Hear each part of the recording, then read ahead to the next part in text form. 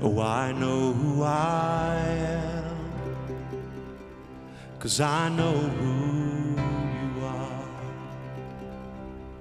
The cross of salvation was only the start. Now I am chosen, free and I have a future, and it's worth living. Cause I wasn't made to be tinned in a grave, I was called by name,